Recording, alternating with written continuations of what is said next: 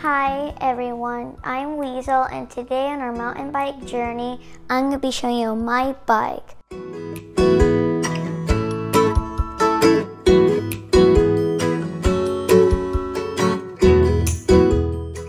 My bike is a specialized hot rock.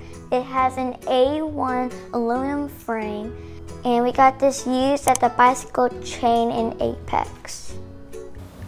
Starting with the suspension, the bike is running a SR Suntour fork with 50 millimeters of travel.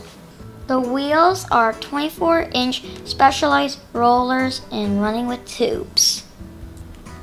The brakes are V brakes with 60 millimeter pads.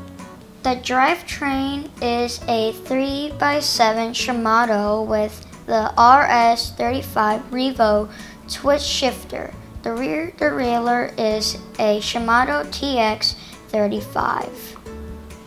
To make it easier for me, I usually run in the middle gear on the front and only shift the rear seven gears. The grips I am currently running is the specialized Kraton grips. The pedals are stock composite platforms. The saddle is a specialized brand and not a dropper. I might upgrade to a dropper later on. In all, the, the bike weighs just under 31 pounds. I hope you enjoyed this bike check video of mine.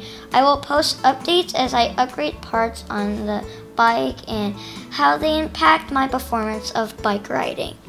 Please like and subscribe for more trail videos, product reviews, and bike performance. See you next time. Bye.